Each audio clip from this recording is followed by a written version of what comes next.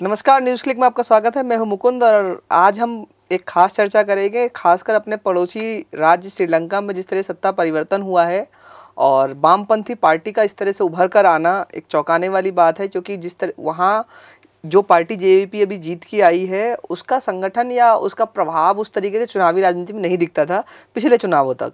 और जस्ट 2022 की जो घटना हुई है, क्या उसका इससे जुड़ाव है, उसके बाद इस तरह की, इस तरह से इस पार्टी का उभर कर आना और इतनी बड़ी मेजोरिटी से चुनाव जीत के आना, ये सबको चौंका रहा है। और इसका असर भारत पर क्या पड़ेगा? इस पूरे क्षेत्र में इसका क्या असर होने वाला है? और इसके अंतर्राष्ट्रीय समीकरण या अंतर्राष्ट्रीय संबंधों पर कुछ असर पड़ेंगे। इस पर हमसे खास बातचीत करने के लिए मौजूद हैं अब्दुल अब्दुल अंतर्राष्ट्रीय मामलों के जानकार हैं और ख़ास तौर पे भारत के आसपास जो एशिया स्पेसिफिक चीज़ें हैं, उस पर पैनी नज़र रखते हैं। तो अब्दुल न्यूज़ क्लिक का बहुत स्वागत है। सबसे पहले तो शुरू यहीं से करते हैं जो चुनाव परिणाम आए हैं। इसको आप कैसे देखते हैं? Basically hmm. आपने जो कहा इंट्रोडक्शन में कि ये एक जो हम जेवीपी का ऑर्गेनाइजेशनल स्ट्रक्चर है जो उसकी हिस्ट्री है श्रीलंका के राजनीतिक इतिहास में वो कभी भी एक बड़ी पार्टी नहीं रही है। हमेशा से इन्फ्लुएंस रहा है बट बहुत ही सीमित क्षेत्र में इन्फ्लुएंस रहा है। इसके बावजूद भी वो उसका एक कैंडिडेट ऑलमोस्ट आधे से करीब जितने भी लोगों ने वोट दिया फ़र्स्ट प्रेफरेंस पहला जो आ, पहला प्रेफरेंस उन्होंने दिया उनको और वो जीत के आए। तो ये कैसे हुआ? इसके पीछे मेरे हिसाब से हमें समझना चाहिए कि पिछले दो तीन सालों से या उससे भी ज़्यादा से जो श्रीलंका में जो राजनीतिक एक तरीके से कहिए चर्निंग चल रही थी एक राजनीतिक उथल पुथल जो चल रही थी श्रीलंका में जो जिसका मुख्य कारण आर्थिक था। हम सब जानते हैं कि आर्थिक संकट से आर्थिक संकट। 2022 में श्रीलंका की अर्थव्यवस्था पूरी तरीके से, एक तरीके से धाराशाही हो गई।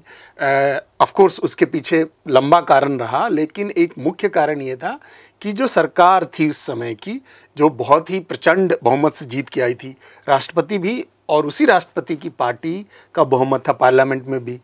और वो जो था, उस बहुमत के बावजूद भी वो लोगों के मुख्य आर्थिक समस्याओं को एड्रेस करने में उसको डील करने में पूरी तरीके से फेल रहा। लोगों के पास खाने के लिए सामान नहीं था। उनके उनके लिए उनके घरों में तेल नहीं था जिनके कारण न तो खाना बन सकता है ना गाड़ियाँ चल सकती हैं। दोनों ही तरीके से नहीं था। रोज़गार की की व्यवस्था पूरी तरीके से चौपट हो गई। और ए, एक तरीके से देखें तो एकदम बिल्कुल ही अराजकता की स्थिति पैदा हुई थी 2022 में। लोग कहते हैं कि इसके पीछे कोविड का कारण है जो भी कारण रहा कोविड रहा हो करप्शन रहा हो सरकार की गलत नीतियाँ रही हो। ये तो है ही ना हाँ। उसी मोमेंट में अगर हम अभी 2022 के संकट की बात करें तो उसी मोमेंट में अरुणा कुमार ने खुद को एक अल्टरनेट लीडर के तौर पे पेश किया और उसका विकल्प लेकिन पहले हम इस पर समझना चाहते हैं जो ये जेवीपी जो कि हम उस इतना अंतर्राष्ट्रीय न्यूज़ में भी इसकी चर्चा बहुत कम क्योंकि वहाँ उसका पिछले चुनाव में तीन परसेंट के आसपास वोट शेयर था तो उसका उतना चर्चा नहीं होता था। जेवीपी का आंदोलन का इतिहास क्या है? और जो ये जीते हैं दिशा नाइके दिशा नाइके का लीडरशिप कैसा है? किस तरह का व्यक्तित्व है इनका? इनकी आंदोलन में किस तरह की भूमिका है? क्योंकि पचपन वर्ष का ही है एक नौजवान हम्म। राष्ट्रपति चुन के आए हैं इस पूरे ज़िले में। तो इसके बारे में थोड़ा इसका इतिहास बताएँ। हाँ हाँ उसकी उसी पे मैं आ रहा था बिल्कुल। ए, मैं ये कहना चाह रहा था कि जो एक खास आर्थिक स्थिति पैदा हुई और वो आर्थिक स्थिति पैदा हुई और जनता के बीच में एक भाव आया कि ये जो आर्थिक स्थिति पैदा हुई है इसके लिए जो हमारी जो सत्ता में जो स्थापित पार्टियाँ हैं जो पहले से चाहे वो राजा पाक्षा की पार्टी हो या विक्रम सिंह की पार्टी हो या दूसरे जितने भी जो प्रेमदासा की पार्टी हो यही पार्टियाँ जिम्मेदार रही हैं। तो इसके खिलाफ कौन जो है एक एक अल्टरनेटिव एक विकल्प के तौर पे उभर सकता है? तो उसमें उनको लगा कि सिर्फ़ दिशा नायके और जीवीपी या एनपीपी जिसको हम कहते हैं गठबंधन है। वही है जिसको हमने अब तक टेस्ट करके देखा नहीं है। तो और चूँकि इन इन्होंने जिस तरीके से इलेक्शन कैंपेन लीड किया जिस तरीके के बातें कहीं और जिस तरीके से इन्होंने जिन जिस तरीके का इनका हिस्ट्री रहा है जब हिस्ट्री की हम बात कर रहे हैं कि ये एक समाजवादी मार्क्सवादी पार्टी रही है जो हमेशा से जनता के आर्थिक मुद्दों को लेकर संघर्ष करती रही है। आ, उसने हमेशा ही श्रीलंका में जो सामंतवादी व्यवस्था थी उपनिवेशवादी व्यवस्था थी उसके खिलाफ आंदोलन किया है उन साठ के दशक से लेकर लगातार करते रहे कभी कभी तो बीच में दो बार उन्होंने हथियारबंद क्रांति भी करने की कोशिश की उन्नीस सौ इकहत्तर में और उन्नीस सौ नवासी में अठासी नवासी में। आ, तो इनका जो इतिहास रहा है वो एक और इनकी जो विचारधारा रही है ये इनको जो सत्ता में स्थापित पार्टियाँ थी उनसे बिल्कुल ही अलग करती थी। एक और जैसा मैंने कहा कि 2022 में जो सिचुएशन जो परिस्थितियाँ बनी वो परिस्थितियाँ ऐसी थी जिनमें जनता को ऐसे ही विचारधारा की ज़रूरत थी जो उनके आर्थिक मुद्दों को प्रमुखता दे और उसके बारे में सोचे। क्या उसके बारे में उसका कोई अल्टरनेटिव व्यू है? तो चूँकि समाजवादी पार्टी होने के कारण हमेशा से जनता के मुद्दों को उठाती रही है और इसीलिए एक तरीके से उनको लगा कि दिशा नायक के एक अल्टरनेटिव हो सकते हैं। और दिशा नायक के बाइक बाई द पहली बार तो चुनाव लड़ नहीं रहे हैं। इसके पहले भी उन्होंने राष्ट्रपति का चुनाव 2019 में लड़ा था। जिसमें वो जैसे आपने कहा कि बहुत कम वोट आया लेकिन एक तरीके से कहिए जनता को श्रीलंका की जनता को उनकी विचारधारा उनके नेतृत्व और उनकी जो नीतियाँ थीं का जो प्रस्ताविक जो नीतियाँ थीं उनके बारे में पता था। तो एक तरीके से कह सकते हैं हम कि 2022 की स्थितियों ने जेवीपी को एक बिल्कुल ही हाशिए पर रहने वाली पार्टी से उठाकर केंद्र की पार्टी के तौर पर स्थापित किया और दिशा नायकों को एक विकल्प के तौर पे जनता ने उनको प्रमुखता दी। अब्दुल इससे तो एक बात साफ़ हो रहा है जो ये जो चुनाव है ये सिर्फ़ सत्ता परिवर्तन के लिए लोगों ने वोट नहीं किया व्यवस्था परिवर्तन के लिए 2022 में जिस तरह से पूरी सिस्टम फेलियर था वो। सिस्टम फेलियर के बाद उनको एक इस सिस्टम से बाहर का आदमी चाहिए था और इसलिए उन्होंने दिशा नायक पे भरोसा जताया। बिल्कुल। और जैसे कि जानते हैं वामपंथी पार्टियों का काम करने का जो तरीका होता है मजदूर आंदोलन और हम्म। इनमें होता है तो उसका सपोर्ट भी दिशा नायक को मिला। वामपंथी पार्टियों का सबसे बड़ा जो आप कह सकते हैं कि सबसे बड़ी ताकत यही है कि उनको आ, कोई भी ऐसा अभी तक एग्ज़ाम्पल नहीं मिलता जिसमें आप उनको कह सकें कि ये भी उतने ही भ्रष्ट हैं जितने बाकी लोग भ्रष्ट हैं। एक दूसरा कि हमेशा से जनता के बीच में काम करते रहे। अगर आप देखेंगे 2022 का जो आंदोलन है उस समय के इतिहास को अगर आप पढ़ेंगे तो उस सारे आंदोलन को किस पार्टी ने लीड किया? उस आंदोलन को लीड करने में सबसे ज़्यादा भूमिका जो सबसे एक तरीके से मुख्य फ्रंट मुख्य फ्रंट पे जो रही पार्टी वो पार्टी थी जेवीपी और उससे जुड़ी हुई दूसरी एनपीपी जिसको आज हम कहते हैं जो सिविल सोसाइटी मूवमेंट्स हैं और छोटी पार्टियाँ हैं इन लोगों ने ही उन 2022 के मूवमेंट को एक तरीके से जनता का आंदोलन बनाया। उसमें बहुत उनके ऑर्गेनाइजेशन की बहुत बड़ी भूमिका थी। तो इन, उनके काम को, उस आंदोलन में उनके काम को और उनकी विचारधारा को और ये फैक्ट कि इनका कोई करप्शन का इतिहास नहीं है। बाकी सारे लोगों को हमने ट्राई करके देख लिया। राजा पाक्षा तो पूरा परिवार ही एक इमेज है श्रीलंका में आज कि वो भ्रष्ट परिवार है। विक्रम सिंघे इसके पहले छः सात बार प्रधानमंत्री रह चुके हैं श्रीलंका में। श्रीलंका के और उनकी जो नीतियाँ हैं उसके बारे में सबको पता है। तो और सबने देखा कि 2022 के बाद, आने के बाद भी उन्होंने जिस तरह की नीतियाँ अपनाई, वो नीतियाँ जनता के पक्ष में तो बिल्कुल नहीं थी। वो आईएमएफ किसी तरीके से कोशिश ये थी कि अर्थव्यवस्था को फाइन ट्यून किया जाए आईएमएफ से डील कर लिया जाए, बाहर से कर्ज ले लिया जाए, जिससे कि जो बड़े बड़े उद्योगपति हैं, वो बचे रहे और अर्थव्यवस्था को हम दोबारा से रिवाइव कर पाए। उन्होंने कभी पॉलिसी जो दुनिया में इस बार चल रही है बिल्कुल। उसी पे उन्होंने आगे बढ़ने का आगे बढ़ने की कोशिश की और ये इसके बावजूद कि ये वो जानते थे कि हम आईएमएफ से कर्ज लेंगे या बाहर से कर्ज लेंगे तो उस कर्ज को चुकाने के लिए हमें कुछ शर्तों को मानना पड़ेगा। और वो सारी शर्तें जनता के हितों के विरुद्ध विरुद्ध में जाती हैं। जैसे आईएमएफ ने कहा कि हम आपको कर्ज देंगे इसके बदले में आपको टैक्स बढ़ाना पड़ेगा। टैक्स अब इनडायरेक्ट और डायरेक्ट दोनों टैक्स अल्टीमेटली जनता को ही चुकाने पड़ते हैं। इसके बाद उन्होंने कहा कि जितनी भी तरह की सब्सिडीज़ हैं, जो उस स्थिति में जब जनता के पास इतना पैसा नहीं है कि वो अपनी बेसिक ज़रूरतों को, मूल ज़रूरतों को पूरा कर पाए, उस स्थिति में आप जो उनको सब्सिडी मिलता है, जो राहत मिलती है, उसको भी आप ख़त्म करने की नीति लेके आएँगे क्योंकि आपको अर्थव्यवस्था को बचाना है। तो आपको ऑफकोर्स जनता उस तरीके से आपके पक्ष में कभी नहीं जाएगी और वो हमेशा चाहेगी कि आप जो है इस तरह की नीतियों को बदले। और जो भी उस, जब दिशा नायके ने का जो कैंपेन था, अगर हम देखें तो वो कैंपेन इसी आधार पर था कि हम आईएमएफ से जो लोन लेंगे भी, अगर लेना भी पड़े तो हम उन शर्तों पर नहीं लेंगे जिन शर्तों पर विक्रम सिंघे की सरकार अग्री करके आई है। क्योंकि वो वो शर्तें जनता के हितों के खिलाफ है। हाँ जैसे अभी, अब ये बात तो होगी जो वहाँ आर्थिक स्थिति किस तरह से। अगर हम दिशा नायके की पॉलिटिक्स और दिशा नायके के बारे में बात करें, उसका करेक्टर, क्योंकि इसके बारे में भी चुनाव जीतने के बाद ही जितनी चर्चा हो रही है। और जो मैं अभी मुख्य कई सारे न्यूज़ समाचार पोर्टल्स दिख रहा था तो हिंदुस्तान में ख़ास तौर पर एक तरह का इमेज पोर्ट्रेट करने की कोशिश हो रही है, जो दिशा नायके और उनकी पार्टी का जो छवि है, वो खासतौर पर भारत के विरोध में रहा है। और वो उस तरह के, और प्रो चाइना या चूँकि वामपंथी है ज़ाहिर सी बात है तो चाइना में वामपंथी पार्टी की सरकार है और यहाँ एक दक्षिण पंथी की सरकार है। तो इसका भी असर क्या है? दिशा नायक की अपनी पॉलिटिक्स की हिस्ट्री क्या है? अगर हम आसान समझने की कोशिश करें दिशा नायक कौन है हम्म, हम्म। और उनकी क्या राजनीति है? आ, आप इसको इस, इस तरीके से समझ लीजिए कि श्रीलंका एक छोटा सा देश है भारत के दक्षिण में। और उस देश में जेवीवीपी के बारे में कहा जाता है कि वो राष्ट्रवादी विचारधारा से प्रभावित पार्टी है। मार्क्सवाद तो है ही पर साथ साथ राष्ट्रवाद भी है।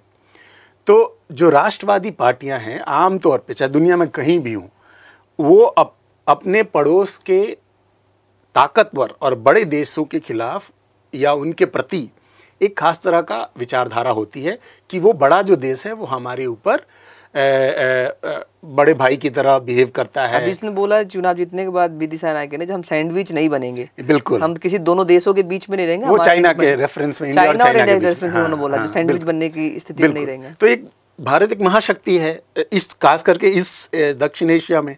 और श्रीलंका एक छोटी सी छोटा सा कंट्री है।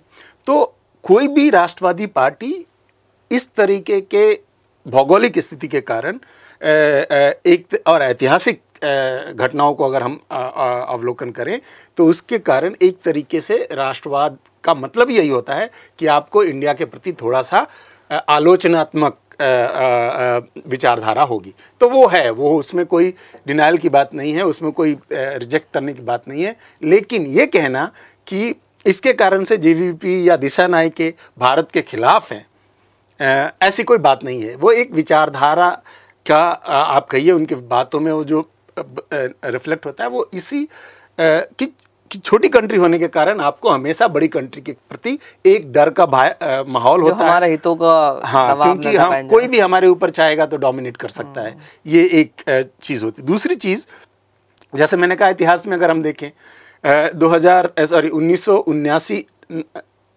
नवासी में जो हमने समझौता किया श्रीलंका के साथ जयवर्धने समझौता। ये तमिल तमिल हाँ एग्जैक्टली थर्टीन अमेंडमेंट जो हाँ, तेरहवा संविधान संशोधन हुआ आ, आ, आ, कुछ प्रांतों को ऑटोनॉमी की बात की गई श्रीलंका के संविधान में।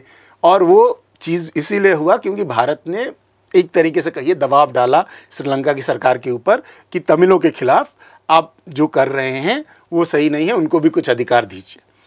तो ये जो एक चीज़ थी इसके कारण से भी आप कह सकते हैं कि जेवीपी को लगा कि देखिए हमारे एक तरीके से बाह मरोड़ने वाली बात हुई। हमारी सरकार को उन्होंने दबाव डाल के हमारे खिलाफ इंटरनल मैटर में एक तरीके से इंटरफेरेंस किया। हमारी आर्मी गई वहाँ पे। So called peace keeping force थी लेकिन हम सब जानते हैं कि वो पीस कीपिंग फोर्स नहीं थी। वो वहाँ गई क्योंकि वो चाहती थी कि श्रीलंका में जो गृह युद्ध हो रहा है उसमें किसी तरीके से भारत का कुछ भूमिका रहे। तो इस कारण से भी इन इस इतिहास को भी हमें ध्यान में रखना चाहिए जब हम कहते हैं कि दिशा नायक जो है, भारत के खिलाफ उसकी राजनीति है। उसकी राजनीति भारत के खिलाफ नहीं है। उसकी राजनीति भारत के द्वारा समय समय पर जिस तरह की नीतियाँ अपनाई गई श्रीलंका के प्रति, उसके प्रति आलोचनात्मक भाव है। एक दूसरी चीज़ अगर हम मेन स्ट्रीम मीडिया में देखते हैं कि so called main stream media कि वो प्रो चाइना दिशा नायक के प्रो चाइना है। ये समझ भी सही नहीं है। जैसा मैंने कहा कि वो श्रीलंका के राष्ट्रवाद राष्ट्रवादी विचारधारा से प्रभावित पार्टी है। और चूँकि वो मार्क्सवादी पार्टी है इसीलिए कहना कि वो चा, प्रो चाइना है ये बिल्कुल ही एक तरीके से सरलीकरण करना है चीज़ों को सही से समझने वाली बात नहीं है। वो मार्क्सवादी होने के साथ साथ राष्ट्रवादी भी है और इसीलिए श्रीलंका तो का ये ये एक अनोखा प्रयोग नहीं है कॉम्बिनेशन क्योंकि दोनों ही की जो मूल सिद्धांत है राष्ट्रवादी अपनी सीमा को लेके बहुत इमोशनल और सेंटी होता है हाँ। मार्क्सवाद पूरे देश में दुनिया में हाँ। इंटरनेशनल की बात करता है तो ये दोनों रखते हुए दिशा नायके कैसे चल रहे हैं हाँ। और इसकी समझ कैसे विकसित हुई हर देश में जैसे मैंने कहा हर देश में राजनीति का उभार अलग अलग होता है। मार्क्सवाद भी अलग अलग तरीके से लोगों को प्रभावित करता है। एक चीज़ ज़रूर है कि जहाँ तक मैंने जैसे कहा कि हमें मार्क्सवाद और राष्ट्रवाद के बीच में जो विरोधात्मक तत्व है इसके बावजूद भी हमें ये नहीं भूलना चाहिए। जैसे मैंने कहा कि अलग अलग देशों में कई सारे मार्क्सवादी हुए हैं जो राष्ट्रवादी भी रहे। जैसे चाइनीज़ कम्युनिस्ट पार्टी के बारे में भी कहा जाता है कि वो बहुत ज़्यादा राष्ट्रवादी हैं। तो इस तरह की विचारधारा दुनिया भर में उभरती रही है समय। वो एक वैचारिक बहुत ही सैद्धांतिक डिस्कशन हो जाएगा अगर हम उसमें जाएँगे अभी। बट ये हम सिर्फ़ ये कहना चाह रहे थे कि वो मार्क्सवादी समाजवादी होने के बात के साथ साथ राष्ट्रवादी भी हैं। अपने देशों को हितों की प्राथमिकता पहले। चाहते तो हैं। वो ये नहीं कह ये नहीं कह सकते उनको कि वो प्रो चाइना है या प्रो इंडिया एंटी इंडिया है। उनके लिए जो भी श्रीलंका के हित में होगा उसके लिए वो काम करेंगे। और अगर भारत की सरकार ऐसी कुछ नीति ला रही है जो श्रीलंका के हित में है। तो दिशा नायक के पिछले साल भारत आए थे या इसी साल भारत आए थे? जयशंकर से मिलके गए जयशंकर से मिलके गए डोभाल से मिलके गए। अजीत डोभाल हाँ तो तो वो इससे पता चलता है कि वो रेडी हैं इस उस स्थिति के लिए भी जब भारत से एक तरीके से मित्रता की बराबरी की नीतियों का अभी अभी जैसे जीतने के बाद प्रधानमंत्री ने उनको बधाई दी तो उसके जवाब में भी उन्होंने एक अच्छा सा मैसेज रिप्लाई किया है। जो लग रहा है तो अगर उनकी कुछ इमेज ऐसी थी भी तो अब उसको सुधार के और सहयोग की भूमिका में चलने को तैयार है। लेकिन वो अपने जो उनका श्रीलंका श्रीलंका लोगों की जो भावनाएँ से जुड़े सवाल हैं उसके साथ वो समझौता नहीं करेंगे। नहीं, कोई भी नहीं करेगा किसी हाँ। भी देश में कोई भी पार्टी तो और नहीं करेगी। और जो प्रो चाइना की जहाँ तक बात है उन्होंने कह दिया साफ़ जो वो किसी देश बड़े देश के दबाव में आना नहीं चाहते अपने हितों के साथ सबके लिए वो बातचीत करेंगे सबसे समझौता करेंगे। अब्दुल अब इसके बाद आखिरी में एक- जब जा रहे हैं तो एक चीज़ ये समझने की कोशिश करते हैं जो एक बड़ा सवाल है जब भी आपके देश के अगल बगल कुछ चीज़ें होंगी तो वो आपके संबंधों पर भी इफ़ेक्ट पड़ता है।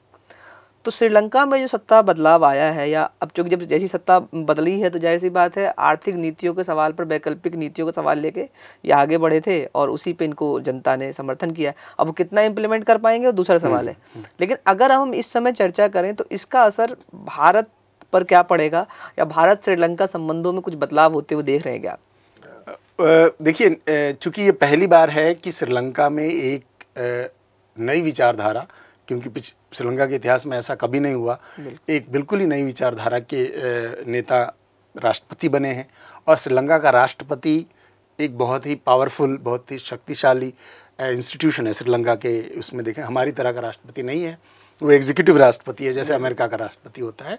उस तरीके की शक्तियाँ हैं उसके पास।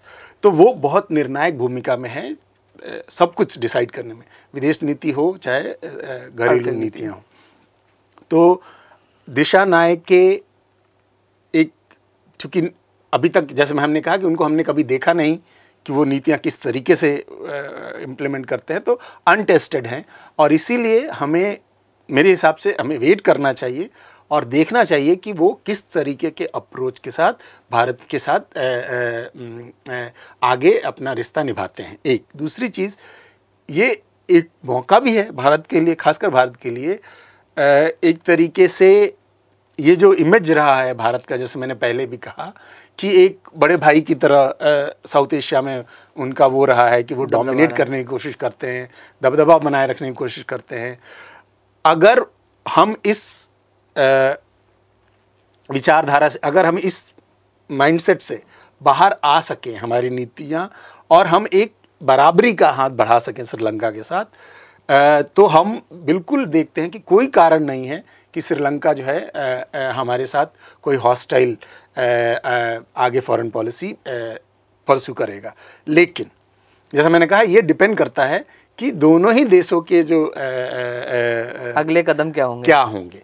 एक जैसे मैंने कहा एक तो यह है कि श्रीलंका बहुत हद तक निर्भर करता है भारत के द्वारा दिए गए आर्थिक राहत से- के ऊपर। 2022 में भी चार मिलियन के भारत ने दिया पेय था। तो श्रीलंका को भारत की ज़रूरत है, इसमें तो कोई दो राय नहीं है। अब क्या भारत उस ज़रूरत का इस्तेमाल एक तरीके से श्रीलंका से मैत्रीपूर्ण संबंध बनाने के लिए करता है, या कुछ और तरीके से इसको ले जाने की कोशिश की जाती है, उसके ऊपर निर्भर करेगा कि किस तरीके से दिशा नायक रिएक्ट करते क्योंकि हमने देखा है कि मालदीव्स के केस में क्या हुआ।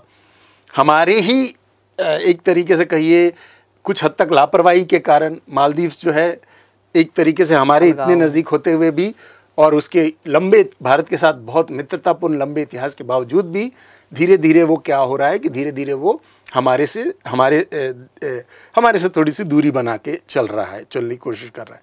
अगर हम वो स्थिति नहीं पैदा करना चाहते हैं तो इसके लिए हमें पूरी कोशिश करनी होगी कि हम किस तरीके से नए वहाँ पे जो शासन व्यवस्था स्थापित हुई है उसके साथ किस तरीके से उसको क्या मैसेज देते हैं। बेसिकली हमको पूर्वाग्रह से ग्रसित होके नहीं इसके साथ व्यवहार नहीं करना चाहिए। हम्म। आपको नए तरीके से नया सत्ता परिवर्तन हुआ है उसके साथ आपको काम खुले दिमाग से उसके साथ और क्योंकि आप जो बात कह रहे हैं हिंदुस्तान का तो इमोशनल और डेमोग्राफिक अटैचमेंट भी श्रीलंका के साथ ऐसा है हम्म। क्योंकि जो आबादी अब तमिलनाडु की बात करें उसी तरह के लोग आपको रहते हैं तो आपके संबंध है उस तरीके का आप उसको इग्नोर नहीं कर सकते। बिल्कुल। तो कई बार जो आपने खासकर जो राजीव गांधी की बात करी जो समझौता वहाँ पे हुआ जयवर्धन समझौता जो हुआ वो भी उसका एक बड़ा कारण था क्योंकि हिंदुस्तान को लगता है जो हमारे लोग वहाँ रह रहे हैं हम्म। तो उसकी रक्षा करना हमारी ज़िम्मेदारी है। तो अग, इसको तो आप डिनाई नहीं कर सकते कि बड़ा देश होने के नाते आपकी ज़िम्मेदारी आपके इंटरनल पॉलिटिक्स पे भी प्रभाव पड़ता है। तो आपका इंटरफेरेंस उस तरीके की करने की कोशिश करेंगे ही और यहाँ पे एक छोटी सी बात है कि हमें ये नहीं सोचना चाहिए कि वो हमारे पूरी दुनिया अगर हम उस विचारधारा से चले तो पूरी दुनिया के लोग हमारे लोग हैं। तो अगर हम संप्रदाय के सिद्धांत पर विश्वास करते हैं और, और, और जो कि यूनाइटेड संयुक्त राष्ट्र के चार्टर का मूल सिद्धांत है तो श्रीलंका में जो तमिल हैं ठीक है अल्टीमेटली वो श्रीलंका का आंतरिक मामला है। हम कोशिश ये कर सकते हैं हम्म। कि कहीं भी जहाँ पे अल्पसंख्यक हैं जहाँ वहाँ के तमिल अधिकार का हनन हनन नहीं होना चाहिए। हमारी कोशिश यही होनी चाहिए कि वहाँ के अल्पसंख्यकों के खिलाफ किसी भी तरीके के क्या अत्याचार ना हो उनके अधिकारों का हनन ना हो। जी। ये कहना कि वो हमारे लोग हैं और इसलिए हमारी ज़िम्मेदारी बनती है कि हम उनकी रक्षा करें। ये एक ये भाव ही बेसिकली श्रीलंका के रूलिंग क्लास के अंदर एक तरीके से ए, आप उसकी तरह से आप एक बीज बो रहे हैं जो कि बाग, बाग आगे चल के हमारे लिए ही नुकसानदायक होगा। अब जब आखिरी में एक सवाल भारत के संबंधों पर जो उसका असर होगा, वो तो जैसी बात आपने कहा है, जिस तरह के अप्रोच रखा जाएगा, उस पर डिपेंड करेगा किस तरह से रिएक्शन आता है। अभी तो कुछ पता नहीं है इस पार्टी के बारे में। लेकिन सेम चीज़ अगर अंतर्राष्ट्रीय स्तर पर देखें, क्या अंतर्राष्ट्रीय राजनीति में इसको एक बड़े बदलाव के तौर पर इसका प्रभाव दिखेगा?